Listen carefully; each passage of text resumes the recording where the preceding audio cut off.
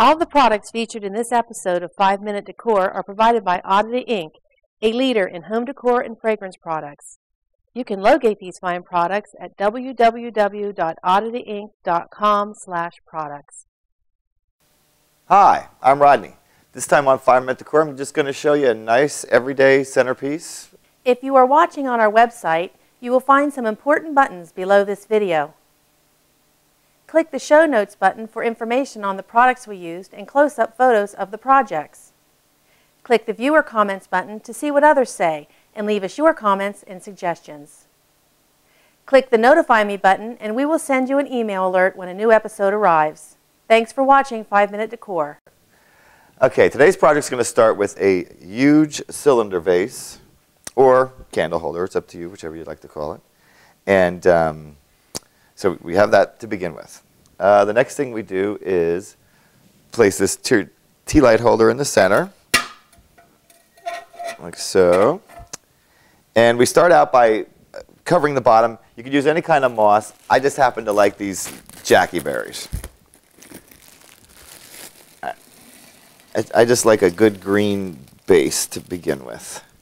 So start out with one, one uh, bag of them. Ah, let's start out with a couple more than maybe two.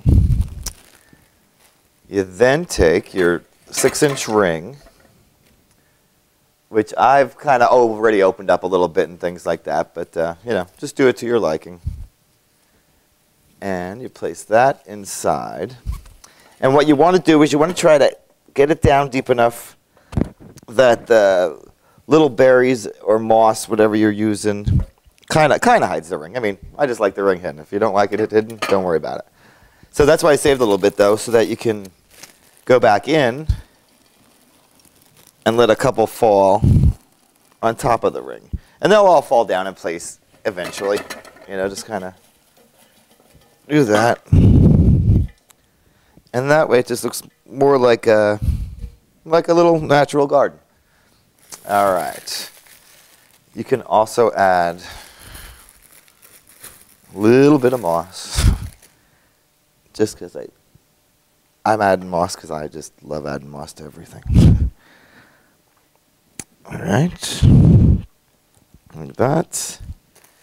And then you grab three tea lights. And we have them in all different colors, and it's not too difficult to find one that matches each one of our rings. That.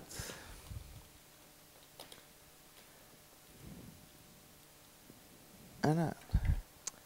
And there you have it. You're all set. And you could use any kind of ring, any kind of, you know, um, silk flowers. Um, it's just this, this is a really great and different um, centerpiece idea, the tea light here. So, alrighty, and that's about it for today.